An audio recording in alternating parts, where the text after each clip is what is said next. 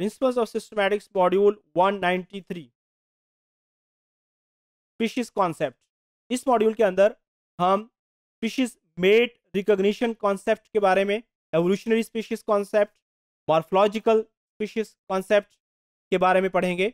सबसे पहले हम बात करते हैं स्पीशीज मेट रिकॉग्निशन कॉन्सेप्ट इस कॉन्सेप्ट के मुताबिक जो ऑर्गेनिजम्स हैं they are supposed to share a specific mate recognition system यानी डिफरेंट जो इंडिविजुअल्स हैं, इनके अंदर एक स्पेशल सिस्टम मौजूद है, जिसकी बेस के ऊपर ये अपने पोटेंशियल मेट को रिकॉग्नाइज करते हैं।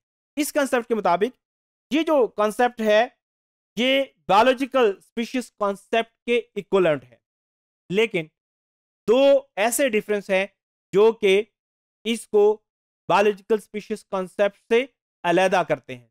पहला first a population in principle at least might vary geographically in how mate are recognise biological species concept के मुताबिक, एक, जो स्पीशीज के मेंबर्स हैं they constitute a ecological unit लेकिन, जो मेट रिकग्निशन कॉन्सेप्ट है, इसके मुताबिक ऑर्गन्स के दरमियान में इतने जोग्राफिकल डिफरेंसेस मौजूद होते हैं, जिसकी बेस के ऊपर वो अपने जो मेट है, उसको रिकॉग्नाइज कर सकते हैं।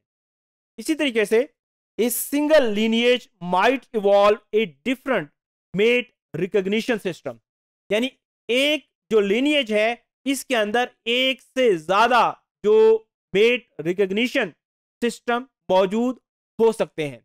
जबकि जो बायोलॉजिकल स्पीशीज कॉन्सेप्ट है उसके मुताबिक एक जो स्पीशीज के मेंबर्स हैं, वो सिर्फ़ अपने ही मेंबर्स के साथ इंटरब्रीड कर सकते हैं, वो किसी दूसरे स्पीशीज के मेंबर्स के साथ ब्रीड नहीं कर सकते। अगर वो ब्रीड कर भी लें तो फर्टाइल ऑक्सप्रिंग्स पैदा नहीं कर सकते। इसी तरीके से जो दूसरा कॉन्सेप्ट है cohesion species concept cohesion species concept के मुताबिक there is something which hold species together यानी कोई ना कोई चीज़ ऐसी ज़रूर है जो स्पीशीज के मेंबर्स को इकट्ठा रखती है। लेकिन अब ये ऐसी क्या चीज़ है जो स्पीशीज के मेंबर्स को इकट्ठा रखती है? इसके बारे में ये जो कंसेप्ट है, ज़्यादा एक्सप्लेनेशन नहीं देता। लेकिन इस कंसेप्ट के मुताबिक वो जो सिस्टम है जो स्पीशीज को इकट्ठा रखता है, जो उनको होल्ड करता है वो सेक्स के अलावा है। लेकिन उसकी डिटेल्स क्या है, वो इस कंसेप्ट में अवेलेबल नहीं है। अब मॉर्फोलॉजिकल स्पीशीज कॉन्सेप्ट क्या है, इसके मुताबिक जो ऑर्गेनिजम्स हैं, उनको मॉर्फोलॉजिकल डिफरेंसेस की बेस के ऊपर हम डिफ्रेंशिएट कर सकते हैं डिफरेंट स्पीशीज के अंदर डिवाइड कर सकते हैं। इस कंसेप्ट को फॉलो करते हुए पहले ऑर्गेनिजम्स को उनकी मॉर्फोलॉजी की बेस के ऊपर हम डिफरेंट ग्रुप्स के अंदर रखते थे डिफरेंट स्पीशीज के अंदर रखते थे। लेकिन बाद में जब सब स्पीशीज और सिबलिंग स्पीशीज का कॉन्सेप्ट आया तो मॉर्फोलॉजिकल स्पीशीज कॉन्सेप्ट फेल हो गया। क्योंकि बहुत सारी स्पीशीज ऐसी होती हैं, जो कि बज़ाहिर देखने में तो एक जैसी होती हैं, लेकिन ये रिप्रोडक्टिवली आइसोलेटेड होती हैं, जैसा कि सिबलिंग स्पीशीज इसी तरीके से बहुत सारी स्पीशीज ऐसी होती हैं जो देखने में डिफरेंट होती हैं, लेकिन ये रिप्रोडक्टिवली आइसोलेटेड नहीं होती। इनके अंदर आल्दो के डिफरेंसेस मौजूद होते हैं, लेकिन इनके अंदर ये डिफरेंसेस इतने ज़्यादा नहीं होते जिसकी बेस के ऊपर हम इनको डिफरेंट स्पीशीज के अंदर डिवाइड करें।